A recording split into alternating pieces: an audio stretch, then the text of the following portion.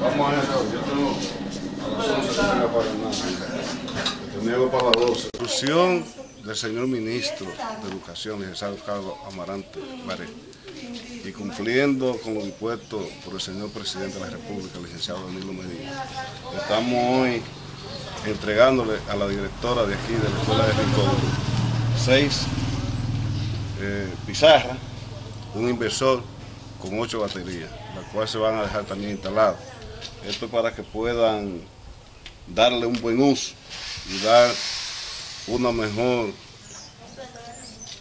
tener una mejor condición para impartir docencia aquí en la escuela.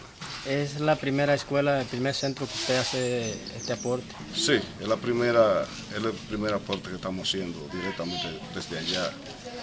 Por, por, la, por, por Villa Mía, aquí hago una escuela de, verano. Donde, hay, donde hace falta más estos artículos, ¿cómo lo gestionan hacia ustedes?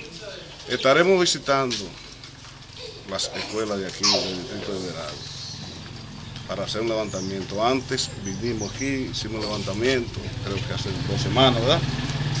Eh, vimos, eh, la, la, profesora me explicó que hacía falta eso. Y ya dos semanas después están aquí. Camión nosotros y trajo lo que hacía falta, lo que me habían solicitado. Okay. Como se ha mencionado también que se está por implementar la tanda extendida aquí en Rincón de Veragua. ¿Cómo van esos procesos? Esta misma semana, si mal no recuerdo, creo, miércoles, jueves, ¿verdad?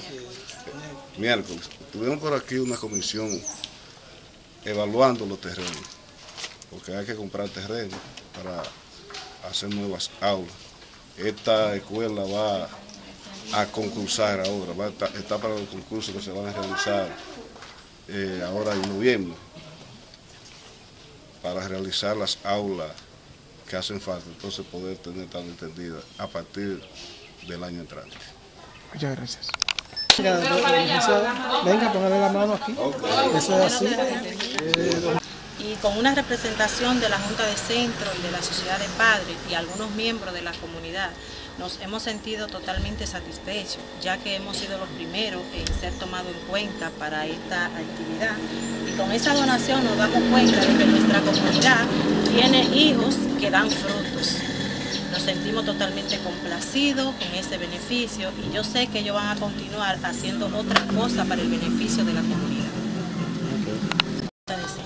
Sí, participamos aquí, los que me quedan al lado, somos miembros del comité de centro que le hemos estado dando seguimiento a estas necesidades que tiene esta escuela. Y también hay otras necesidades que estamos gestionando, pero estamos más que agradecidos y esperamos que eso sea eh, un avance para esta escuela. Y quiero agregarle algo a lo que dijo Reyes, que habló de las aulas que hacen falta. También hace falta la cocina. Una cocina que es la que hace posible la tanda extendida. Y tenemos que darle seguimiento junto con, los, con la directora, las autoridades que tienen que ver con eso, para ver si es posible que la consigamos. Del centro, le damos las gracias a esta institución por habernos tomado en cuenta. Es cuanto. Eh, unos de los alumnos que habilitan en esta escuela nos sentimos satisfechos por el hecho de que los niños, el calor lo afecta mucho al tener su inversor instalado con muy buena potencia, pues se sentirían mejor los niños. Y le damos gracias a Reyes, al presidente de la República y al ministro Carlos Amarante Varés. Gracias.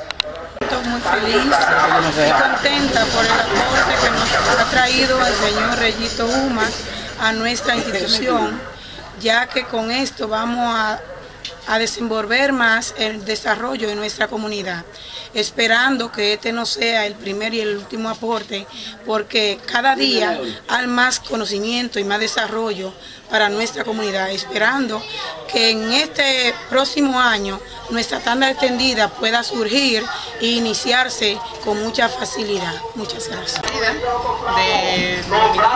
por haber ¿no? estado dando apoyo a nuestro centro, porque también tenemos niños que se están beneficiando de esto. ¿Estarán ustedes colaborando como padres siempre aquí en la educación? Claro que sí, siempre estamos apoyando y viendo todo lo que hace falta. Okay. Bueno, es, esos son pesados esos tigres que están aquí.